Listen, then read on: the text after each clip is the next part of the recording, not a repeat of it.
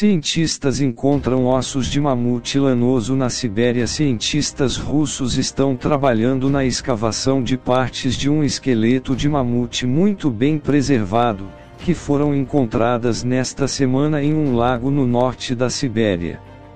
Os fragmentos de ossos, alguns ainda contendo tendões, foram achados por pastores de renas locais em uma área rasa do lago Pesevalavato, na região da Yamalianenets, no centro-norte da Rússia. Os pastores encontraram parte do crânio de um mamute lanoso, cujo nome científico é Mamutius primigenius, além da mandíbula inferior, várias costelas e um fragmento do pé, com tendões ainda presos aos ossos. A lama do fundo do lago pode conter o resto do esqueleto do mamute, disse Dmitry Frolov, chefe do Centro de Pesquisa para Estudos do Ártico, a agência de notícias russa TASS. É necessário registrar a localização exata dos restos para mais estudos. Na última sexta-feira, 24/07, emissoras de televisão russas mostraram imagens de cientistas procurando mais ossos de mamute na lama à beira do lago. Vários fragmentos maiores foram encontrados após a descoberta inicial nesta semana. Especialistas supõem que todo o esqueleto tenha sobrevivido na mesma posição em meio à lama do lago, mas recolher os demais ossos exigirá tempo e equipamento especial, afirmaram.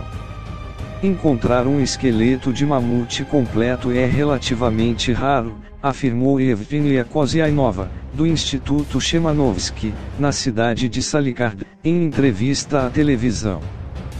Tais descobertas permitem que especialistas aprofundem seu conhecimento sobre mamutes.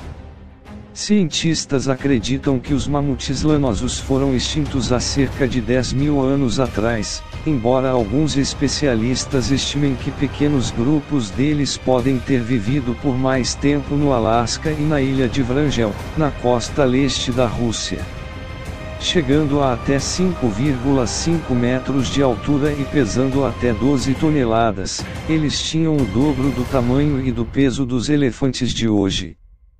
Carcaças bem preservadas de mamutes foram descobertas no permafrost, solo congelado, do norte da Sibéria nos últimos anos, já que a região tem enfrentado uma mudança rápida no clima em meio ao aquecimento global, e muitas dessas camadas de gelo vêm derretendo.